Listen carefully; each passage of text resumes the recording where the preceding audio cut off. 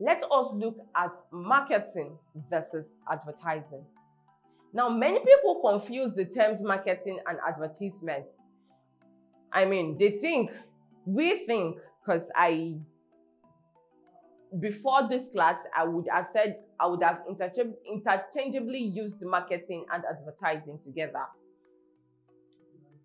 That the same words, like I said, are used interchangeably. But there are distinctive differences between the two. Now, advertisement is a technique to create awareness about a particular product or service to the existing and new consumers. One advertisement promotes only one product and service. Every advert has to be unique and creative. For example, advertisement of a soap must be different from the advertisement of a cold drink. Talk about the new advertisement of Fanta. On the other hand, marketing is a comprehensive term that develops many other activities, including advertisement.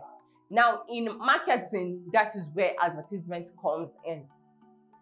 Some of the important activities of marketing are planning, developing strategy, research, public relations, advertisement, budgeting, customer service, feedback, and analysis.